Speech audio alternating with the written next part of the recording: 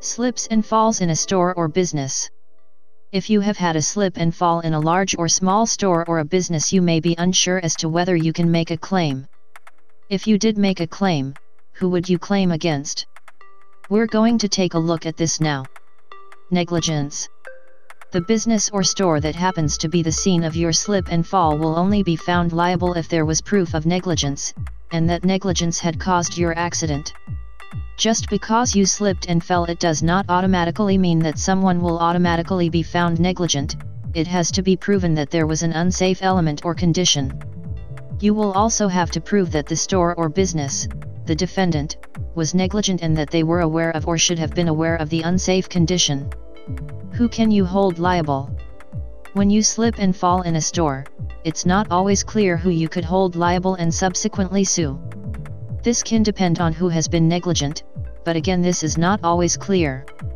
However, if the owner of the store also owns the building it's likely that the owner will be found liable. Some store owners tend to lease the property which can complicate things a little but it is likely in this case that the property owner or the landlord is liable suing the store owner or the landlord. If you had a slip and fall because there was an issue with a structural aspect of the store then your claim is likely to be against the owner of the property or the landlord. For example, if you slipped on some water that had leaked from the roof it could be deemed the landlord's fault. Please read our article Accidents on a Defective or Dangerous Property, proving who is at fault for more information. Things to be aware of in a slip and fall case. Remember the store owner slash landlord will only be found liable if there was negligence, and that negligence was the cause of the accident. Just because you fell it does not mean that someone will automatically be found negligent, it has to be proven that there was an unsafe condition. You will also have to prove that the store or business, the defendant, was negligent and that they knew or should have known about the unsafe condition.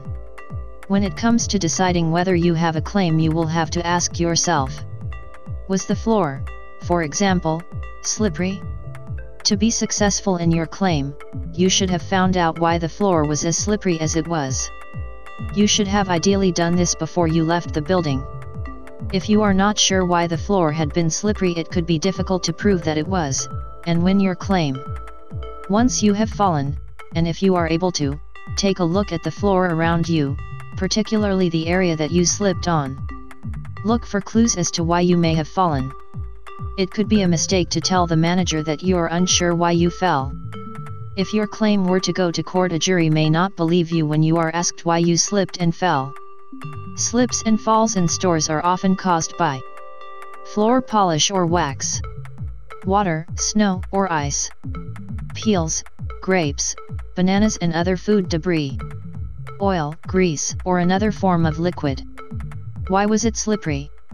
If a foreign substance, such as a grape, made the floor very slippery, how long had it been there before you slipped and fell? You will have to prove that the owner of the shop, the defendant, knew the floor was slippery or should have known that it was very slippery.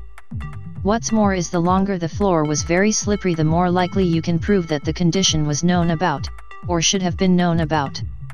Let's imagine that you slipped and fell on a grape, if the grape had fallen onto the floor just a few seconds there is no way that the store owner could have known about it. However, if the grape had been there for an hour or so, chances are that the owner should have known about it. Was there a notice about the slippery floor? You have no doubt seen notices or warning signs telling you that there is a hazard. If for example, the floor had just been polished it's very likely there will be a sign up notifying you of a slippery surface. Putting up such a sign does not mean the defendant can claim they are not liable, but it does show that they are less negligent because they made an effort to put the sign up. If there was not a notice of the slippery floor, the court could rule that there is evidence of negligence. Were you aware that the floor was slippery before you fell? If you were aware that the floor was slippery but you still walked on it, you could be found slightly negligent for your fall, however, this can depend on the circumstances surrounding your fall. If you have been injured in a slip and fall in a store or a business, it is vital that you collect as much evidence as you can so you can prove the fall took place and that someone could be liable. Please speak to a personal injury lawyer as soon as possible as they could help you make a claim.